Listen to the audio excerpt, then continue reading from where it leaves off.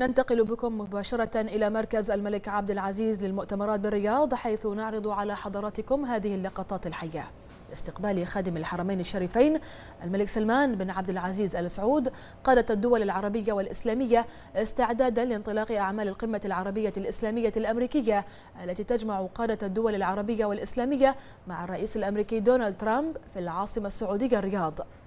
وفي هذه اللحظات يصل فخامة الرئيس الأمريكي دونالد ترامب إلى مركز الملك عبد العزيز للمؤتمرات لبدء أعمال القمة. ومن المتوقع أن تشهد هذه القمة عددا من القرارات الهامة التي تصب في مجال تعزيز التعاون الاستراتيجي بين الجانبين في ظل ما تمر به المنطقة من تحديات تستوجب توحيد الجهود الدولية لمجابهتها. ومن المقرر أن يلقي فخامة الرئيس الأمريكي خطابا إلى الأمة الإسلامية وسط توقعات بأن يحمل هذا الخطاب لهجة تصالحية ودعوة لتوحيد الجهود ضد الإرهاب. وقد ذكرت عدد من المصادر أن مكافحة الإرهاب والتدخلات الإيرانية في شؤون المنطقة والأزمة السورية ستكون من الملفات الرئيسية على طاولة أعمال القمة.